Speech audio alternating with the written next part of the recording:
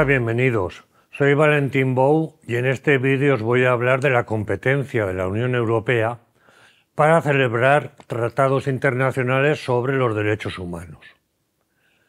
Enmarcando históricamente la evolución de esta cuestión, cabe recordar el silencio inicial que guardaron los tratados constitutivos originarios sobre los derechos humanos.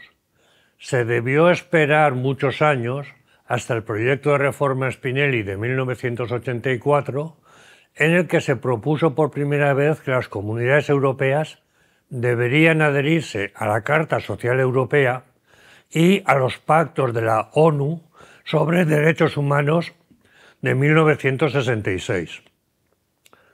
Un hito importante fue el dictamen del Tribunal de Justicia de las Comunidades Europeas de 28 de marzo de 1996, en el que el tribunal afirmó que la Comunidad Europea no tenía competencias para adherirse al Convenio Europeo de Derechos Humanos.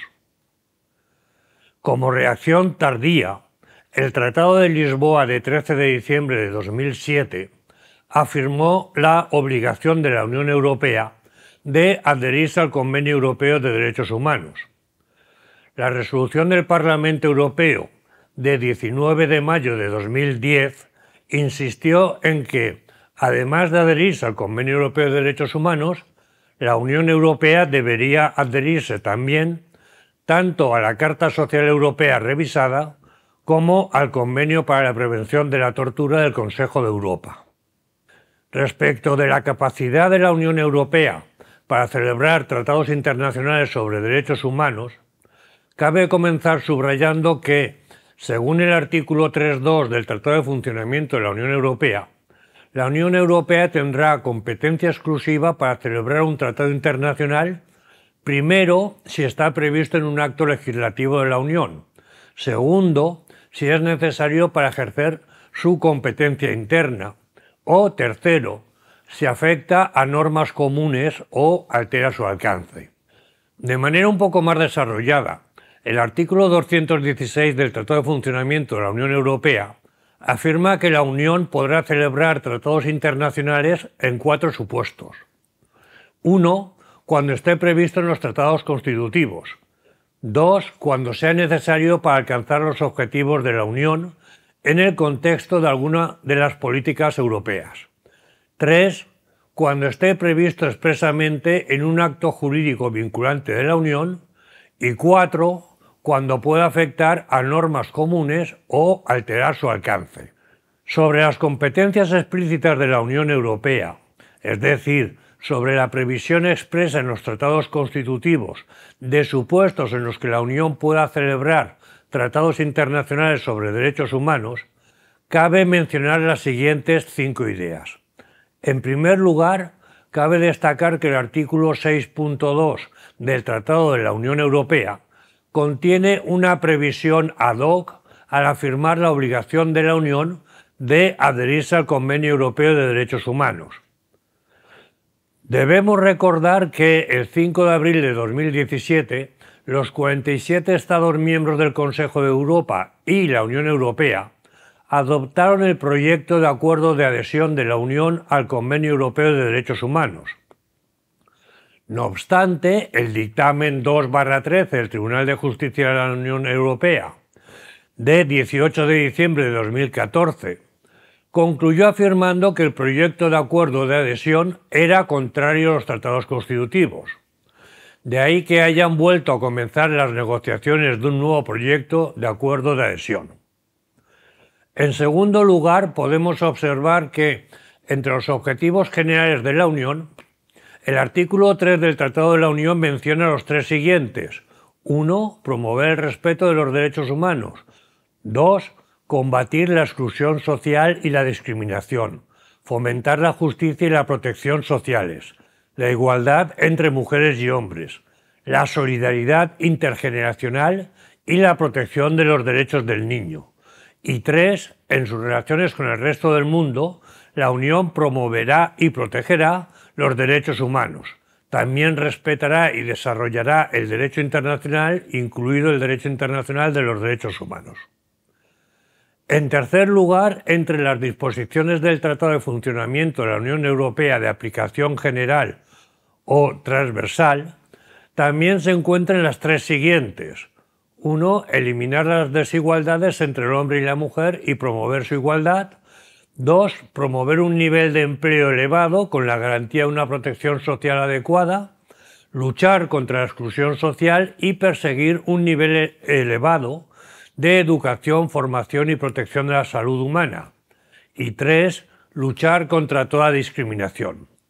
En este sentido, cabe citar la decisión del Consejo de 26 de noviembre de 2009 de celebración de la Convención de las Naciones Unidas sobre los derechos de las personas con discapacidad.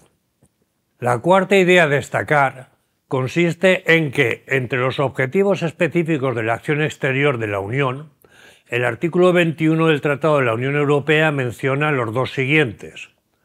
Uno, fomentar en el resto del mundo la universalidad e indivisibilidad de los derechos humanos, el respeto de la dignidad humana y del derecho internacional. Y dos, en sus relaciones internacionales, la Unión defenderá, consolidará y respaldará los derechos humanos y el derecho internacional.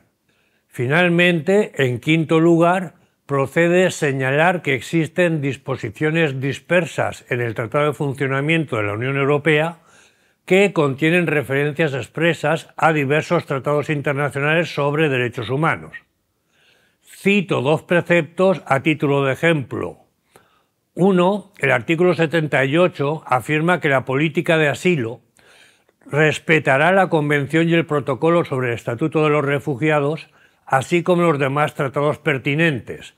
Y dos, el artículo 151 señala que la política social tendrá presente la Carta Social Europea. Respecto a las competencias implícitas de la Unión, es decir, cuando el ejercicio de estas competencias sea necesario para alcanzar los objetivos de la Unión en el contexto de alguna de sus políticas, y si es para celebrar tratados internacionales de derechos humanos, cabe destacar dos ideas. En primer lugar, conforme a la sentencia AETR de 31 de marzo de 1971, en materia en las que la Unión tenga competencias explícitas ad intra, también tendrá competencias implícitas ad extra. Ello permitiría a la Unión celebrar, entre otros, tratados internacionales sobre igualdad entre el hombre y la mujer, no discriminación, política social y empleo o asilo y refugio. En segundo lugar, la cláusula de imprevisión competencial prevista en el artículo 352 del Tratado de Funcionamiento de la Unión Europea permite explicitar las competencias implícitas. Ejemplo de ello es la decisión del Consejo de 2008 sobre el acuerdo de la Comunidad Económica y el Consejo de Europa en materia de cooperación entre la Agencia de los Derechos Fundamentales de la Unión Europea y el Consejo de Europa. Acerca de la posibilidad de que la Unión disfrute de la competencia para celebrar tratados internacionales sobre derechos humanos resultante de una previsión expresa en un acto jurídico vinculante, es claro que se refiere a una previsión expresa en un reglamento, directiva o decisión.